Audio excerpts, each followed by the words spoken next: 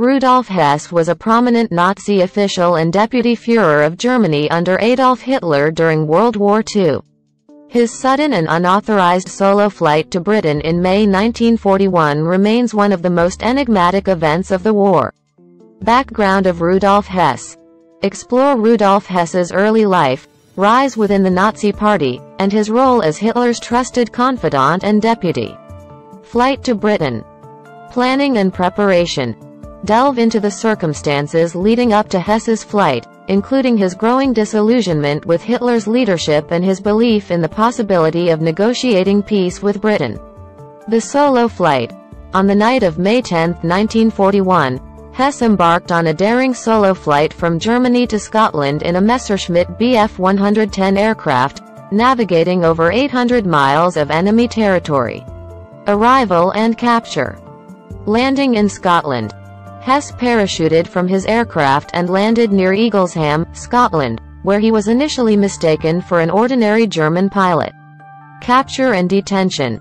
Hess was taken into custody by local authorities and later handed over to British military officials. His capture sparked widespread intrigue and speculation about his motives and intentions. Interrogation and investigation. Interrogation by British intelligence. British intelligence agencies, including MI5, interrogated Hess extensively in an attempt to uncover the reasons behind his unauthorized flight and his peace proposals. Hess's statements.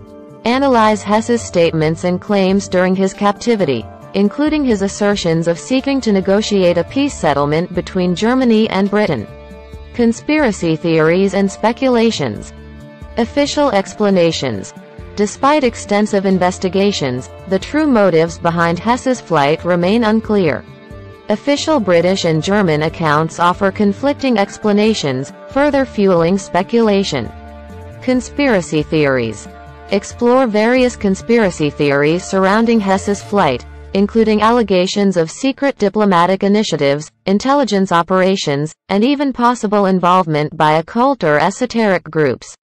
Imprisonment and trial. Imprisonment in Britain.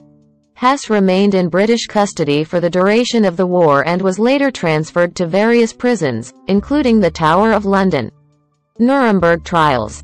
After the war, Hess was indicted as a war criminal and stood trial alongside other high-ranking Nazi officials at the Nuremberg trials. He was sentenced to life imprisonment. Legacy and aftermath. Death in Spandau prison. Rudolf Hess spent the rest of his life imprisoned at Spandau prison in Berlin. He died under mysterious circumstances in 1987, leading to further speculation and conspiracy theories. Historical significance The mystery of Rudolf Hess's flight continues to captivate historians and researchers, offering insights into the complexities of Nazi ideology, leadership dynamics, and the twilight years of World War II.